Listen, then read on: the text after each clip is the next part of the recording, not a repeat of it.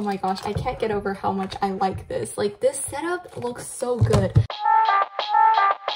Welcome to me impulsively deciding to clean my desk. I just finished journaling, so it's extra messy. We're gonna switch over to this side. Okay, we're here. This is my desk. So these are the new things that I've gotten.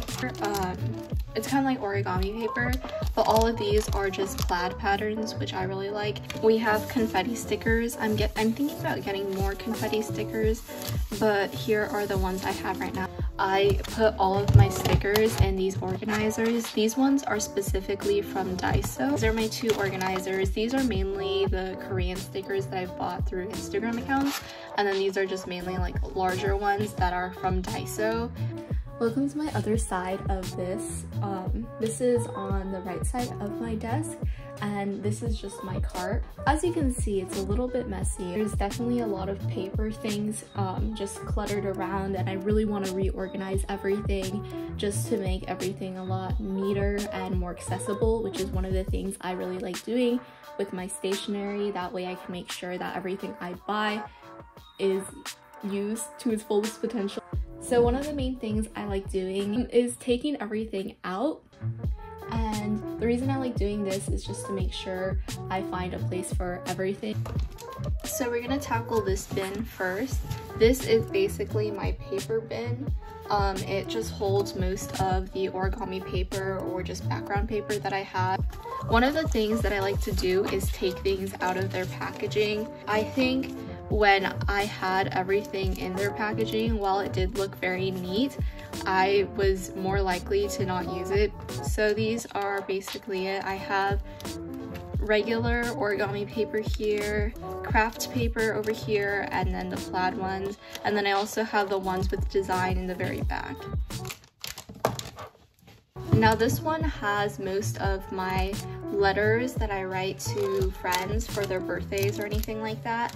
Um, and then also a couple of stickers that I don't use on the regular, but still if I have like a design or a journal entry that will fit this aesthetic or somewhat, I will take it out and use it. Now moving on to the first tier, and these are all of my stickers or anything else like that, just random things that I couldn't find a place, but I always use so these are one of the first things that I wanted to organize here because they are the ones that I use the most and therefore are the most cluttered. Um, these are organizers that I bought from Daiso. They're a little bit flimsy, but for the price they were, I think it was worth it. I mean, I don't use it for much besides just organizing stationery. This is just random things I put in. They're mainly to hold these, which are just like tape cutters, and then these really cute pins. Very cute. We have the second tier. This one is just random stickers. And then obviously these I don't have to organize because they're just regular Mildliners. Okay, next we have memo sheets. They're not really a big deal to organize because I go through all of these. Uh, these are just freebies that I got or memo sheets that I bought from group orders or just things that I just tore out and didn't have a place to put so I just put in here. So I think these are mainly organized.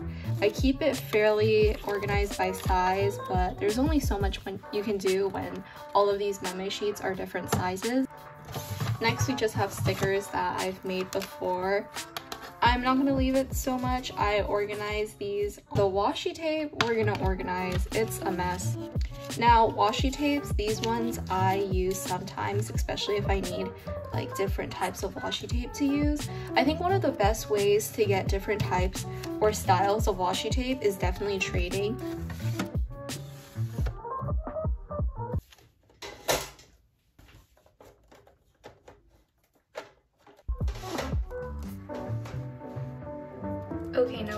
This entire section is just completely cluttered with a mess of everything. So we're gonna go organize this while also showing you a couple of things that I really use in my life. So this container is from Daiso and I think it's just really helpful in keeping all of my notebooks organized.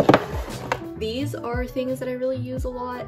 Um, they're just very big notepads from Target and I've already finished one of them. Um, I used two, one for just journaling stuff and then one for school. Um, I guess if you're like wanting to do YouTube or anything, this is basically my idea journal. Um, this one particularly, this notebook is from Muji. It has lined paper. I think it's very helpful just for writing down ideas, especially if you're like me and have really bad memory. This one was already in my channel. This is basically um, writing about life or just, I don't know, things. If I'm ever angry, I write a lot in this. Uh, just to help control my emotions. We have like these little things. I put them all in a tray just to keep everything a little bit more organized. First, this pencil, very useful. It's very slim. Um, this is the Sakuda Retrico 0.5 one. These two calligraphy pens are the ones that I use. Both of them are from Daiso. These scissors are from Muji. I'm gonna keep one of the jelly rolls. I recently bought these. They're pretty useful. Um, they come in a set of three, zero, five, eight, and 10. Next, I think a lot of people might use this. Even if you're not journaling, you just can use it for school or life. If you use pencil a lot, this is very useful. I got this one from AliExpress, but I know Amazon sells it, and it's basically a small desk vacuum.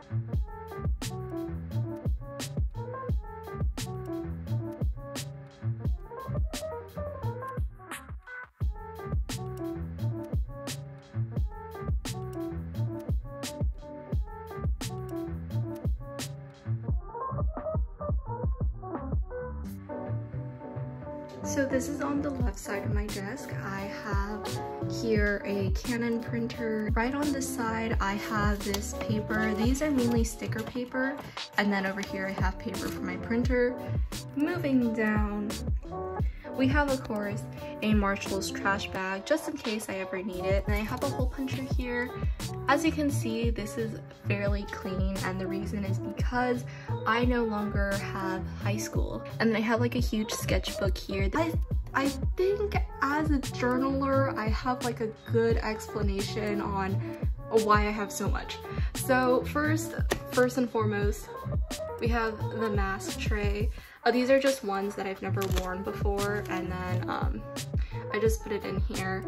Next, I have a couple of things. This one is a little uh, drawing coloring book and I think you would remember from last year my sister gifted these and then in addition to the the campus notebooks i got muji notebooks and then i also have composition notebooks um, and then obviously we move into the realm of like used notebooks.